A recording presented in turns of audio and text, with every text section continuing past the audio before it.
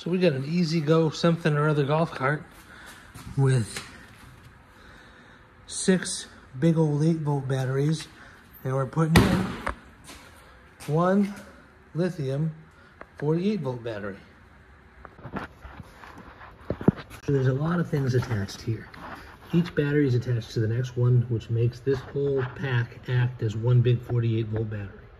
But then you have things like this, which is positive here and the ground there, which means it's only taking these two batteries in series, which means if these this pack was charged and operating, or these batteries were charged and operating, if we measure from here to here, we'd have 16 volts. So this is what um, we'll need to attach our, our 48 volt to 12 volt converter to.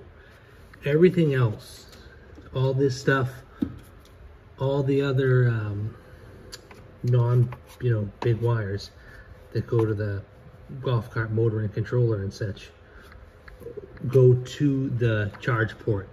So this was so the, the charger would know how much voltage it was working with and could operate the lights to tell you what was going on with the battery pack from the EZGO charger. There is one other wire that goes from the charge port to the controller. And it's a blue wire coming out of the uh, charger and it connects with this connector to an orange wire. And uh, it follows kind of along the seats, under the seats, and goes down uh, into the controller and, and kind of the guts of the golf cart, uh, down down into here. The This needs to have 48 volts or else the cart thinks it's plugged in and won't drive. So this should just be wired to the 48 volt positive of the new battery or else it, it just won't go anywhere. It'll turn on but it won't drive at all.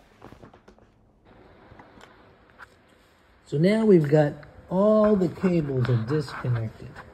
The nuts are gone but the cables are still on there. I tried to disturb the cables as little as I could so that uh, they would stay connected.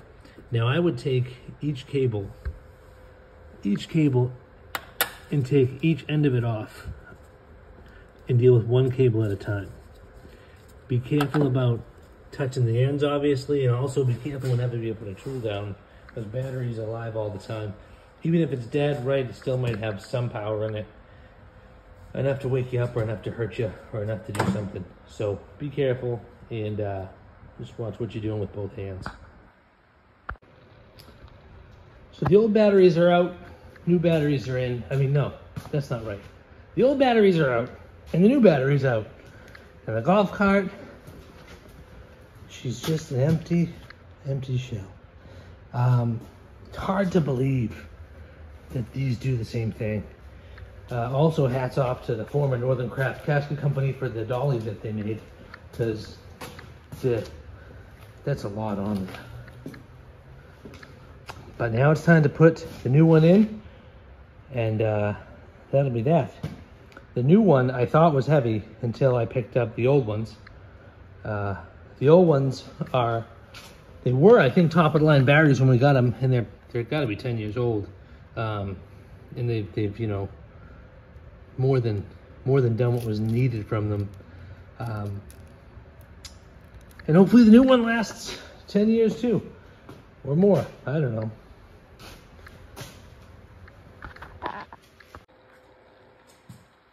It doesn't exactly sit in the same footprint as the old batteries. So I got it strapped in there for now, but I think I'm gonna take this all out and make a nice flat floor in there because it's so much smaller. You'll have room to put, it's basically a car trunk in there. Big Agnes could fit in there. Um, I haven't charged it, I haven't done anything to it uh, besides set it in there. And I get, um, is hard to do with one hand holding the phone. I get 53 volts. Um, so that's that. So this is our 48 volt to 12 volt converter. Um, pretty straightforward. It likes 36 or 48 volts. And um, two holes to mount it. I'll probably mount it here, but not till after I build some sort of more permanent floor. So I've got this kind of sitting in there, strapped in, zip tied in, just so I can take it for a spin, make sure it all works before I get it in there nice, build a nice floor for it. This wire here, this orange one, goes to the controller so it knows it's uh, not being charged. The other stuff's all straightforward.